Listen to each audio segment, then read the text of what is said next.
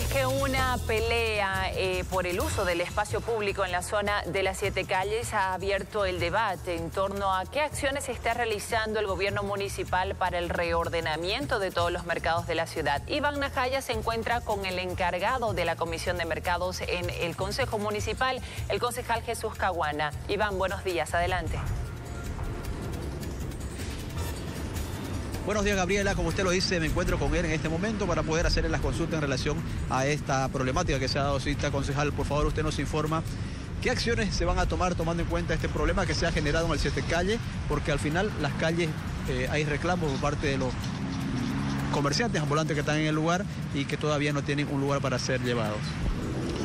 Bueno, primero, este, un tema un poco aislado de un problema que ha suscitado, digamos, ¿no? Pero si hablamos nosotros de, de, dónde viene, desde qué época viene el asentamiento de las aceras, vamos a tomar en cuenta nomás que los que más critican fueron alcaldes en esa gestión y son los causantes en su momento de permitir el asentamiento de mucha gente que están ocupando la... Pero actualmente el problema persiste, concejal, y ahora, ¿qué se va a hacer? ¿Para cuándo el reordenamiento? ¿Hay una fecha? ¿Todavía no la hay? No, no, no, pero el pueblo es testigo creo y considero que esta la última, esta última gestión está, creo, a todo trabajar en el tema de ordenar esta ciudad.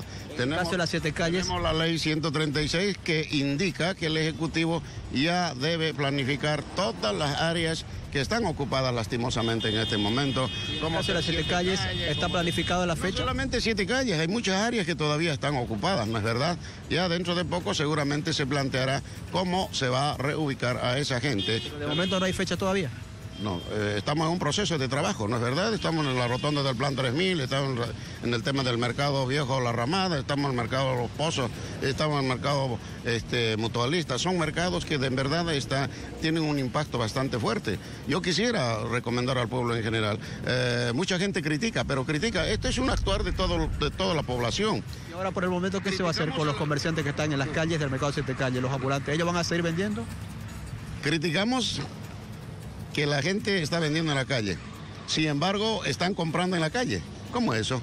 Tratemos de hacer un trabajo conjunto. Si nosotros, el pueblo en general, hacemos un trabajo conjunto de no comprar de la gente que vende en las calles, por supuesto que esa gente automáticamente se va a reubicar a sus lugares. Hay desdobles, hay gente que evidentemente tiene puestos dentro del mercado interno, salen porque existe otro gentero. Son un tema de un trabajo bastante arduo. Espero que el Ejecutivo dentro de poco ya plantee definitivamente el problema de la calle Ayacucho, el problema de las siete calles, el problema de muchas áreas que todavía aún están pero creo de que ha demostrado el señor alcalde hacer un trabajo muy serio con respecto a las calles eh, Grigotal, Ramada Vieja, Los Pozos y, eh, Plan 3000. Creo que son trabajos grandes que ningún alcalde se ha atrevido a hacer. Yo considero... Muchísimas gracias, concejal.